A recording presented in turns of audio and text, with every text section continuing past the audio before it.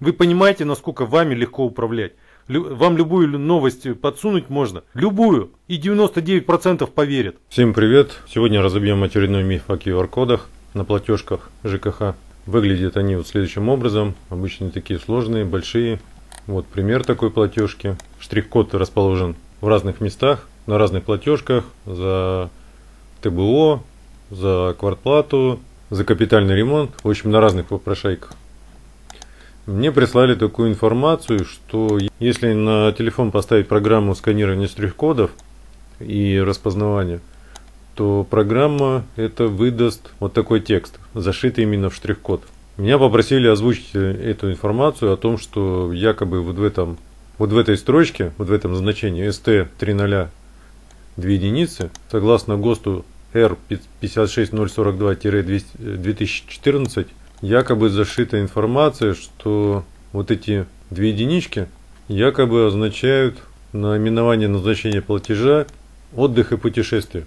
У кого-то стоит 11, у кого-то 12. И а, 12 это инвестиции и страхование. Хотя, по идее, якобы должно указ- быть указано 0,2. Это коммунальные услуги и ЖКХ.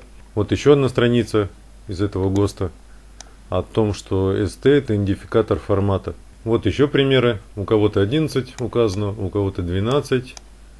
Вот еще 12. 11, 12, 12. Мы отсканировали несколько платежек таких попрошаек. Платежи, конечно, в кавычках, попрошаек без кавычек. Что я сделал? Нашел этот ГОСТ. Вот тут он написано, что он утвержден и введен в действие приказом. Открываем приказ в соответствии с федеральным законом. Федеральный закон принят Государственной Думе в 2002 году, одобрен Советом Федерации. Вроде как бы все сходится, все правильно. Вот я нашел это приложение, Г обязательно. Перечень значений технического кода платежа, техкод. Мы видим коммунальные платежи это 02, 11 это отдых и путешествия, 12 инвестиции и страхование. Вроде как все сходится, но идем в самое начало и ищем таблицу 1, элементы служебного блока. Идет расшифровка с самого начала. То есть смотрим э, первые два символа.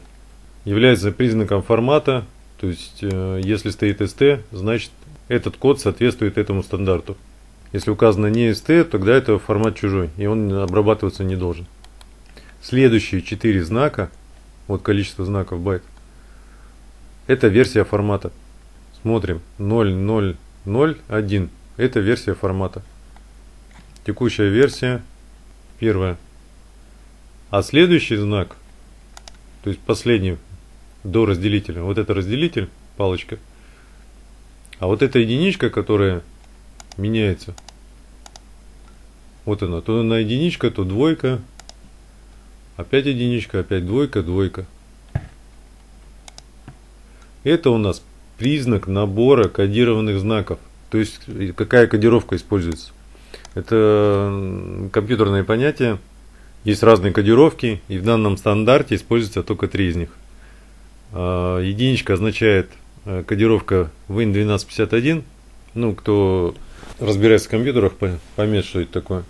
А двоечка это э, международный стандарт UTF-8 кодировки. Всем известна проблема с кодировкой, если неправильно э, указана кодировка исходная, и, то вы можете просто получить вот такую крекозябру, как ее называют в народе. То есть невозможно прочитать текст. Хотя он тут есть и отформатирован. Просто не, использована неверная кодировка. Откуда же взялся миф про назначение платежа? Смотрим, что такое техкод. Техкод это прочие дополнительные реквизиты. То есть это он используется на усмотрение того, кто генерирует данный код. То есть это параметр, которому можно при, присваивать значение. Ну, например, вот э, персональный счет, да, указан. Вот мы нигде не видим, что здесь использован э, дополнительный параметр техкод.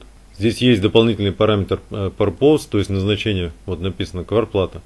Категория дополнительный параметр равно основной долг. Но параметр техкод здесь нигде не использован.